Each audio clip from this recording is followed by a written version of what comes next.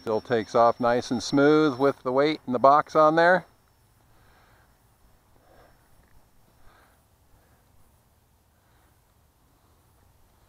Helps if you pull up just a little bit right before you drop. Beautiful, beautiful, beautiful. Boy, look how nicely that's coming down. Bombing truck, take four.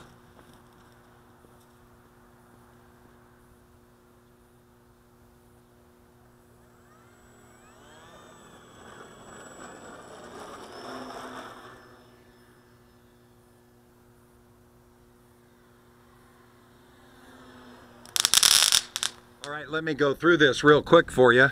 Basically, I've used Dollar Tree foam. This is um, just a little wind block that's angled in the front. I've got a swing down door that's on plastic hinges. I got a little bit of glue in there, some hot glue. And I've got a little servo back here that activates, swings the arm out, releases the door, which I'll show you in just a second. I've got some added weights up underneath the plane there on the door to help it drop down further. And these uh, little bars help me open the door when it's upside down. Let me show you how this thing is going to work.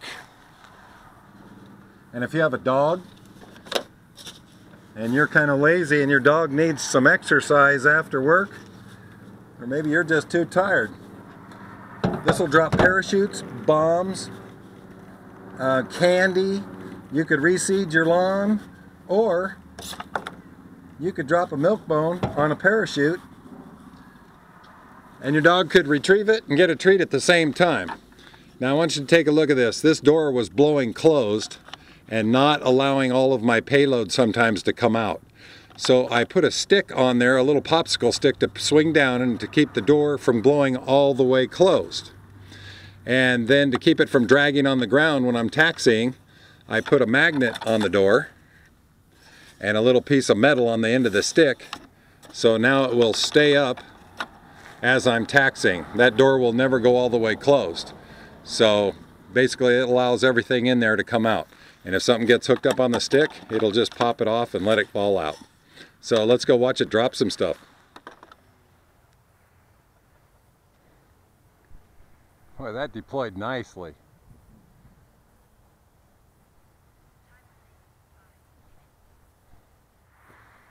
Okay, I like that silk chute so much, I'm going to come down and see if I can get a low deployment, get a better view here.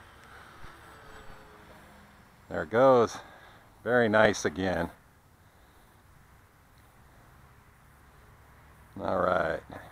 That's a good chute right there.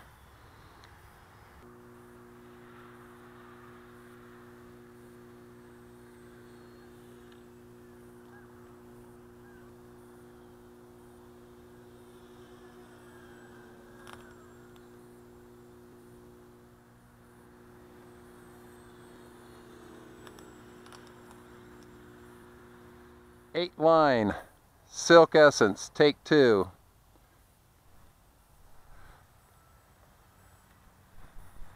Another nice deployment. Nice smooth drift down to the ground. I like that. Well that came out pretty nice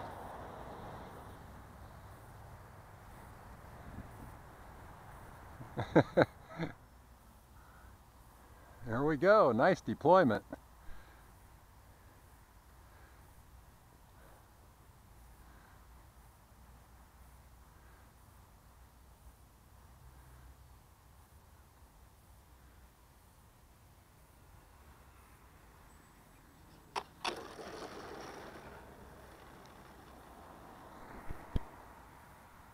Where's the chute? Oh, it's behind the tree there. I saw it in the shadow of the building. There it is. nice.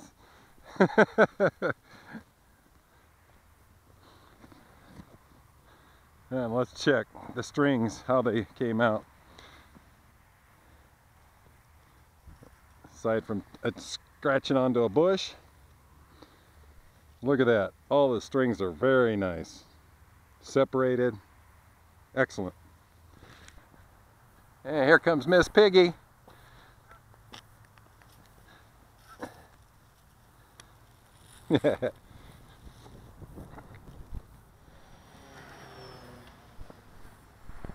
nice. Nice. Once again.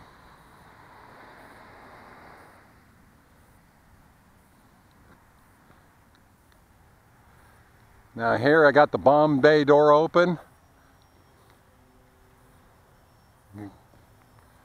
Can still pull loops and do rolls.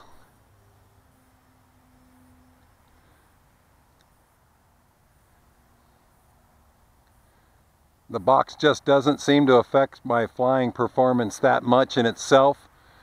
When I have two ounces loaded in it, that's a different story. I can feel it, but it's not overburdened still very manageable to fly.